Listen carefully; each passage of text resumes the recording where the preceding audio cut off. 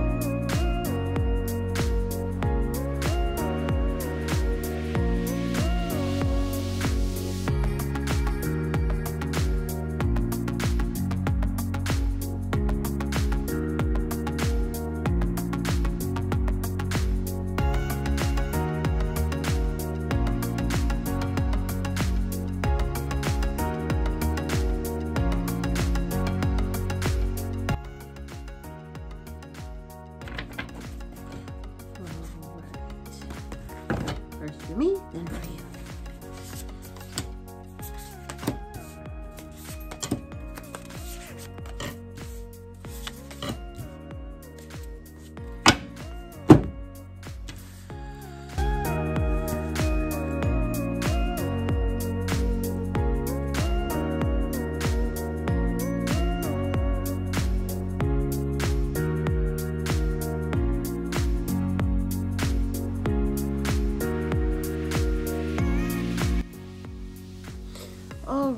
Pisces. First out, we had the Three of Wands in the reverse, followed by the Seven of Swords in the reverse,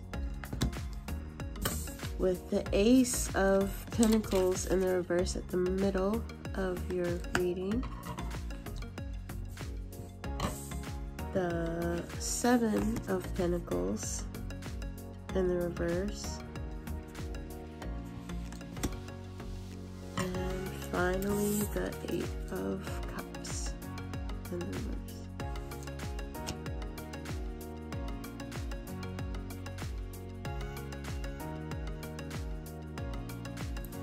So what this looks like to me is a situation where Pisces is focused on something that is going on with their mate something that they wish their mate would do, something they wish their mate would stop doing, uh, something serious that the mate is going through, and they have slowed their own energy and progress by doing so.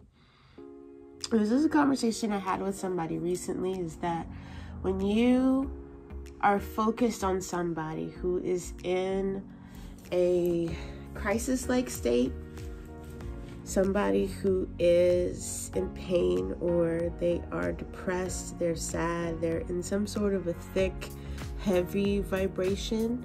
Um, when you go there with them and resonate on that frequency, frequency with them, you are then adding to and amplifying that frequency instead of doing anything that would actually help to alleviate what's going on. You are adding to it. And um, it's very, very hard to do anything else for an empathic type of person, but it is possible. Um, it is something that I have been um, teaching to my clients and something that I am actually currently writing a book about. But um, as empaths, we are tasked with learning the ability of going halfway. So, what you do is if you are in a vibration that is totally, fully light, blissed out, um, walking on a cloud, amazing, and a friend of yours calls and they are in a thick, heavy, painful vibration, then obviously they are not going to get anything out of a conversation with you if you stay where you are at, right? They're gonna feel alienated, they're gonna feel judged, they're gonna feel, you know, like um, what's that that term that people are throwing around on the internet these days? Toxic positivity right? Like oh you should just meditate and it'll be fine. Just drop some crystals in your water you know? But if you are able to drop to a place that they can feel but not all the way to where they are right? Then you can shine a light that will coax them upwards a little bit, coax them to the next step. So the goal is not to actually meet. Because if you go all the way there, then you're adding to the problem. If you stay where you're at and try to um, drag them to where you're at, that doesn't work either. So it's coming to a place of, of middle energy, coming to a place of, um, I guess, honestly, the, the, the best technique that I've used for it is a slide. And the slide is humor, you know? But your humor has to be kind of dark, like not, not all the way where they're at. because, like I said, it just amplifies that thick, heavy vibration. But you want to kind of do something that is just dark enough that it reaches them, but goofy enough that it can make them slide, you know? And so then you can kind of hang out around the middle ground area a little bit instead of either of you staying staunchly where you're at and pulling the other. Now, if this is a, a friend or a partner or a, a person who is used to you doing that and being able to shine a light for them, then they're calling you, they're coming to you, that's what they're looking for. If this is someone who is used to you commiserating and talking about how awful life is with them and you try to do that, it's not going to work either. They're just going to dig in and you're not going to be able to find that medium. So I feel like Abraham's teachings are the best for a situation like that. You get yourself into a happy feeling place and then, right? So you just kind of um, acknowledge where they're at, you validate what how they're feeling but you leave them where they're at. Leave them where they're at and let them feel that because sometimes you don't want somebody to fix it. You literally just want to dump your feelings on them. And as an empath, we have a hard time setting that boundary and being like, okay, no, I'm not gonna just let you vomit bad emotions all over me and then we're just both sitting here in the darkness crying, right? So that would be the lesson in that for you. It's how to still be there, but not drop all the way down to where they're at and stay. And so it, it comes in with um, doing activities that you enjoy, doing something that is on a completely different subject from what is triggered in their vibration. So I'm to pull, I'm going to look at the message behind the message.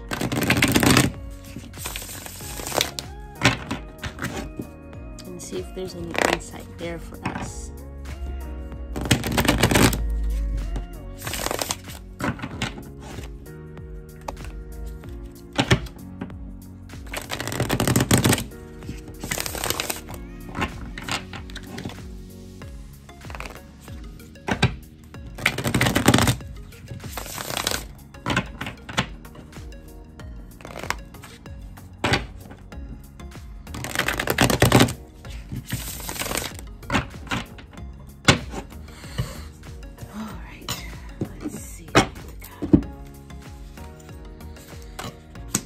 Death in reverse. Judgment reverse. Magician. The Six of Swords. Knight of Wands reverse.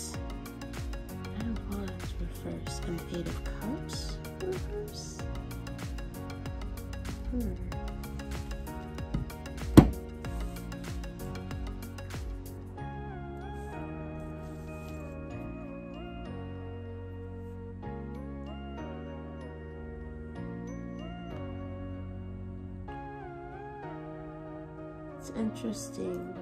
Aquarius got death in reverse on their um, reading as well. And Seven of Swords and the Eight of Cups.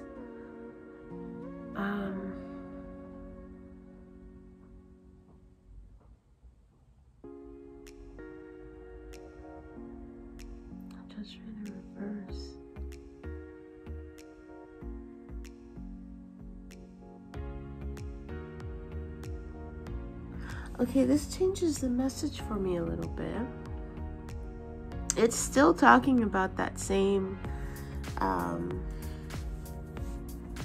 energy of being on two different vibrations.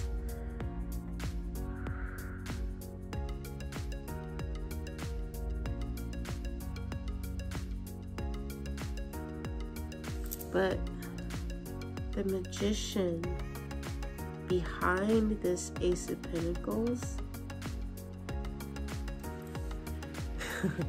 it's telling me that this is a theme. Okay, it, it feels like it's a fairly new theme with this person. So maybe it's something that you've you've you've gone through a lot with friends or gone through a lot with family. But for this particular situation, this is something that has a new dynamic to it and you are about to use this situation to step to to level up basically. That's what this message is to help you to do. It's to um it's to utilize this energy to level up. So maybe you won't have a choice but to go into that place, that thicker, heavier, denser energy with this person that you love. Maybe um, this is brand new to you and you haven't ever tried to do that before. And when you're in that place, then you literally you don't you don't see an option. Like the moment that that person calls you and they're in it, you just go right. And so um, I think that that was the that's part of the significance of this message is learning that there is a moment where you choose that. There is a moment where you choose, okay, I'm going with you. You know, you're at the bottom of the well, I'm just going to jump in, you know. Um there is a moment when you choose that. And there is a reason why you choose that. It is intentional and it is not the other person's doing. And when you do that from that empowered standpoint, that changes the energy significantly. It changes the way you experience it because you're experiencing it on purpose as opposed to being dragged. um, I don't even know if you guys are going to be able to understand what I'm talking about by explaining it in that way, but it's just, it's a very um, instant type of thing that happens. But when you are aware of it, you kind of notice um, levels of it clicking into place as the conversation progresses, as the person moves from vibration to vibration. You know, in a conversation, in a normal conversation, you kind of have a subject and then you go off on a tangent and then you might return to the subject or you might go off on another tangent, you know, like it, it moves around. And with each subject that is introduced into the conversation, you actually have a different vibration. Usually they're around this, you know, the same area. It's like a cluster of um that, that one emotion that is um, associated with these subjects. And that's why they're getting triggered and why they're popping up. But within that cluster some of them are a little bit lighter some of them are a little bit darker. And you kind of have the op- option to intentionally navigate those things and decide which ones you're going to actually give energy to and, and feel or the ones that you're going to just touch on, discuss a little bit, and then move on and not actually let your vibration shift to that vibration. Um, wow that was a lot. but I really hope it helps you, Pisces. Please um, let me know in the comments if you know what I'm talking about. Have you experienced this?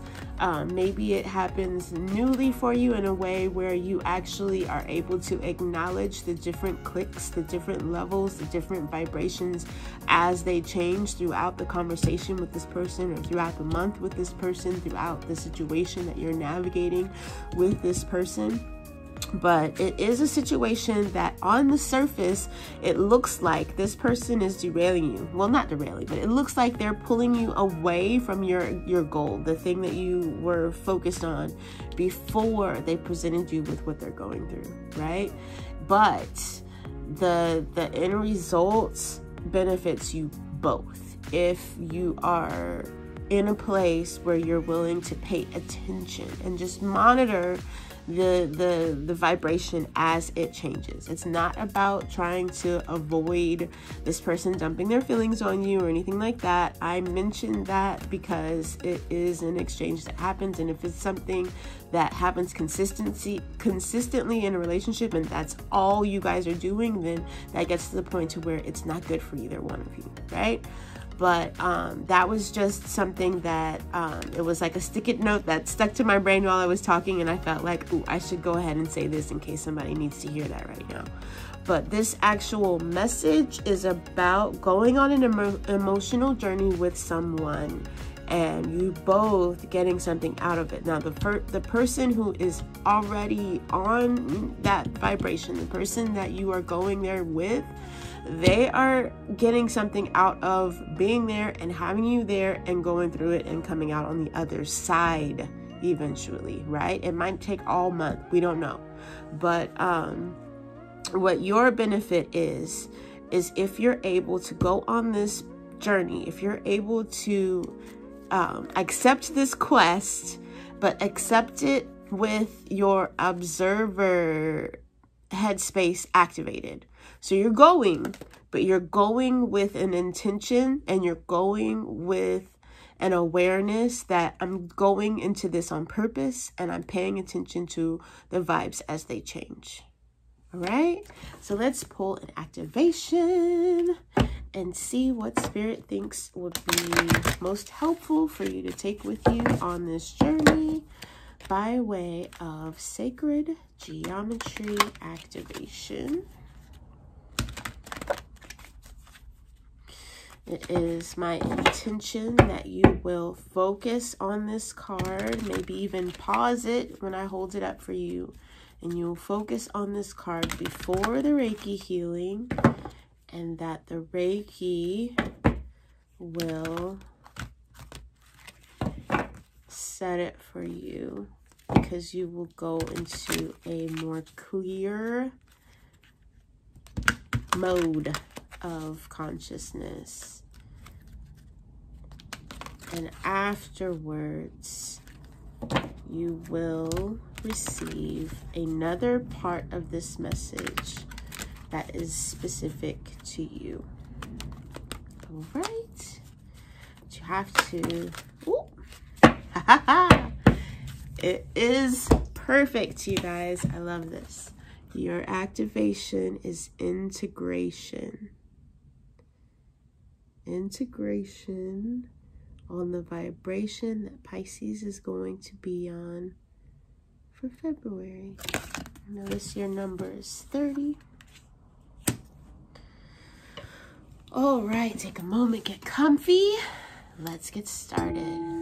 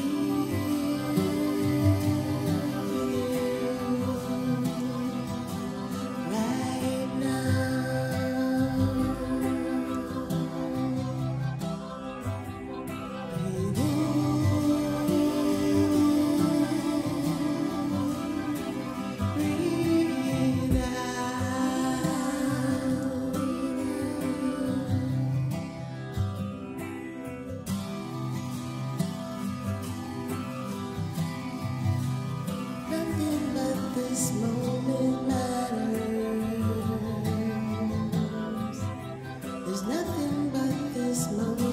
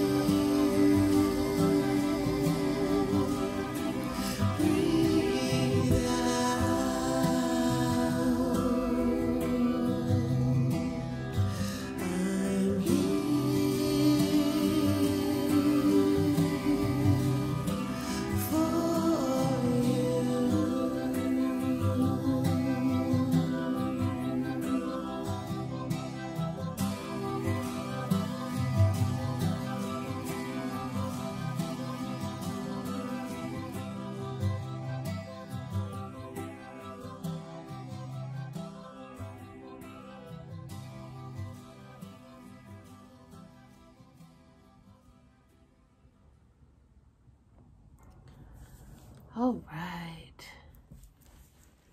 I'll see you next time.